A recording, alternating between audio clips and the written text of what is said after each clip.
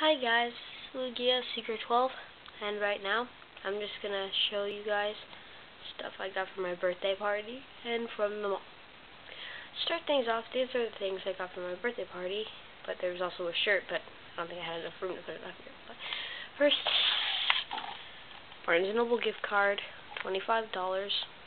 It's really useful for me, so yeah. Another one, Barnes & Noble, also $25.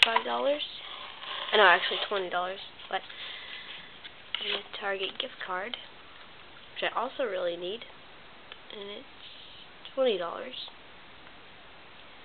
So, next is a little notebook journal thing. Really like the outside of it, it's pretty cool. I also need one of these. Next is a pencil case and then pencils that go with it.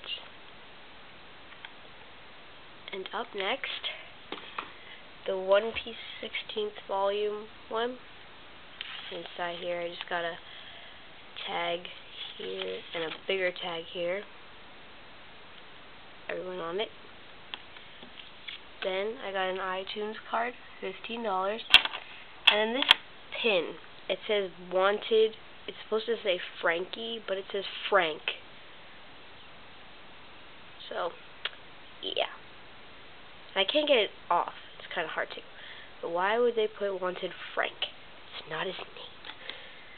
Next, my chopper keychain. And the little flag right there. And then I have just two bracelets. And now, to show you the stuff I got from the mall. To start things off, I got Shonen Jump magazine,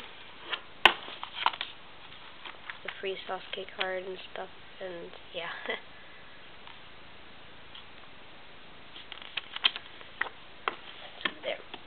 The next one I got like not too long ago. I, I forgot to put in the video. The Sanji figure. And you could take the standoff. So that's pretty cool. I was planning to get another figure, but I didn't find it. And next, my favorite, my Tony Tony Chopper plush.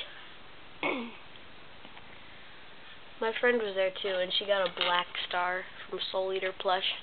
His eyes are creepy though. He's like staring at you for a long time.